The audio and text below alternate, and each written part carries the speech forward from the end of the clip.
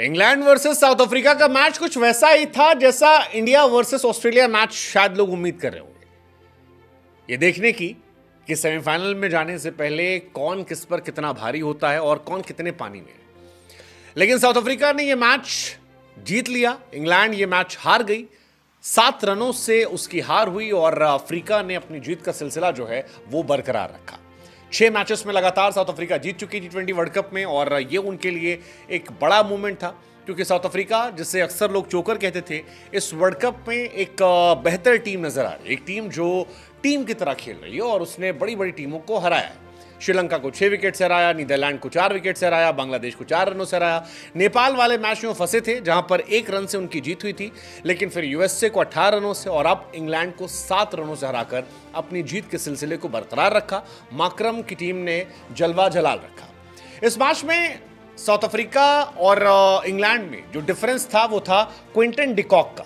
दरअसल बाद में बटलर ने भी कहा कि यार, क्विंटन डिकॉक जो है, वो अलग माइंडसेट से आए थे और उस माइंडसेट को, क्योंकि इंग्लैंड मैच नहीं कर पाया, लिहाजा वो दूर हो गए। क्विंटन डिकॉक ने एक तगड़ी पारी खेली, शुरुआती मैचेस में वो स्ट्रगल कर रहे थे, लेकिन ऐसा लगा कि अपना बेस्ट जो है वो बचा कर रखा था। अड़तीस गेंदों पर पैंसठ रन उनके और 28 पर तिरालीस मिलर के, और इन दोनों पारियों का असर था कि साउथ अफ्रीका जो है, वो अनबीटन रही।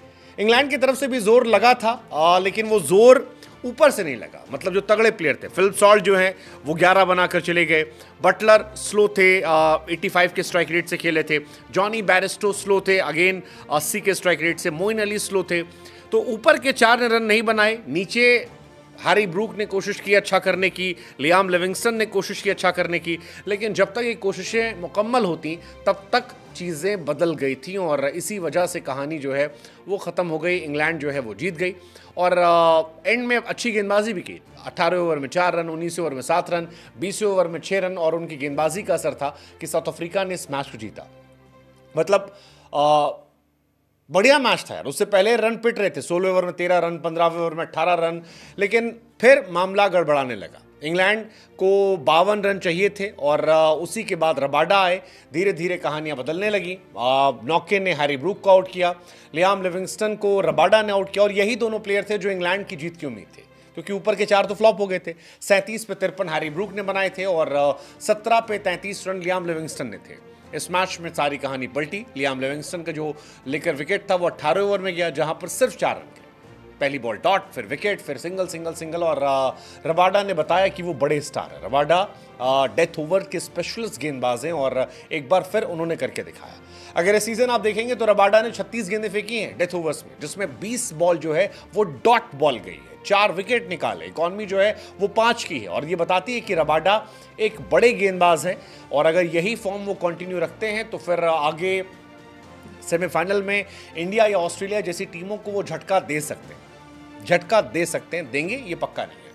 लेकिन फ़िलहाल ये मैच साउथ अफ्रीका के नाम गया। साउथ अफ्रीका की टीम जो है वो बेहतर होती जा रही है और मोस्ट कॉन्सिक्यूटिव विन अगर आप बात करेंगे at least one wicket T twenty में तो फ़िलहाल वहाँ पर भी इनकी टीम का नाम है। बढ़िया चल रहा है मामला। 16 मैच में लगातार नौके ने कम से कम एक विकेट निकाले हैं, जो अपने आप में एक बड़ा स्टार्ट है। इससे पहले अगर आप ये बात करेंगे कि कम से कम एक विकेट निकाला गया वर्ल्ड कप में तो उसमें ग्रैम स्वैन का नाम था। पंद्रह विकेट का जम्पा का नाम पंद्रह विकेट का है। ईश सोडी का नाम है, लेकिन इन सबसे आगे नौके निकल गए नौके ने ऐसा लगता है कि डेलिस्टेन वाली जो कोशिश थी, उसे करना शुरू कर दिया है और डेलिस्टेन की जगह पर भरपाई कर दी है। नौके ने 16 मैच में 31 विकेट निकाले हैं। इससे पहले डेलिस्टेन के नाम ये रिकॉर्ड था 23 मैचेस में 30 विकेट का। उन्हीं का रिकॉर्ड नौके ने तोड़ा है और ये बढ़िया उनकी कहानी रही। हालाँकि ये मैच अगर साउथ अफ्रीका जीती है तो इसमें केशव महाराज की भूमिका भी है। चार ओवर में 25 रन देकर तीन विकेट उन्होंने निकाले और ये मैच बताया कि स्पिनर्स के हाथ काफ़ी कुछ है। इस मैच में जोफ्रा आर्चरी काफ़ी पिटाई हुई। तीन विकेट हालाँकि निकाले उन्होंने, लेकिन उनकी पिटाई हुई, जो एक बड़ी हाईलाइट थी, क्विंटन डिकॉक ने फेंटा लगाया। लेकिन ये मैच अभी भी इंग्लैंड की कहानी को ख़त्म नहीं कर रहा है। इंग्लैंड की कहानी अभी बाकी है। साउथ अफ्रीका ने इसमें दो मैच खेले हैं, दो जीते हैं, चार पॉइंट हैं। इंग्लैंड ने दो खेला है, एक जीता है, दो पॉइंट है। यूएसए और वेस्ट इंडीज़ के भी एक एक मैच में लॉस है। अब अगर वेस्ट इंडीज़ और यूएसए यहाँ से मैचेस जीतती है तो कहानी पलट सकती है।